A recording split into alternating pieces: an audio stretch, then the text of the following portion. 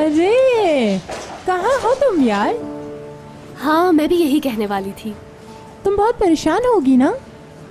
मुराद कहता है कि अब उसका मेरे बगैर दिल नहीं लगता। अब तुम्हारी बारी है तड़पने और सिसकने की। अब तुम अजियत उठाओगी। यार मुराद मुझे इतना चाहने लगा है कि उसने वापस मुझे काम पे बुला लिया। वैसे क्या उसे मालूम है कि तुम्हें अभी भी पेन हो रहा है? इसका मतलब मुझे ये बात अच्छी तरह से मालूम है कि तुम प्रेग्नेंट नहीं होती दम तो अपनी एक्टिंग बंद करो तुम। तो इसका मतलब है तो बस क्लिनिक पर गई थी अपनी किसी चट्टी बट्टी के साथ। अब तुम देखना। तुम्हारे ही बनाए हुए जाल में तुम खुद फंसोगी तुम देखना दीदम जो चाहे कर लो तुम। जानती हो तुम्हारे पास कोई सबूत नहीं है। जो चाहे जाके कह दो मुराद से। मैं तो बस कहूँगी कि हयात तुम्हें फंसाने की नाकाम कोशिश में नफसियाती हो गई है। सही कह रही हूँ ना? वरना जिस औरत ने अपना बच्चा खोया हो, उस औरत पे कोई इल्ज़ाम नहीं लगाता।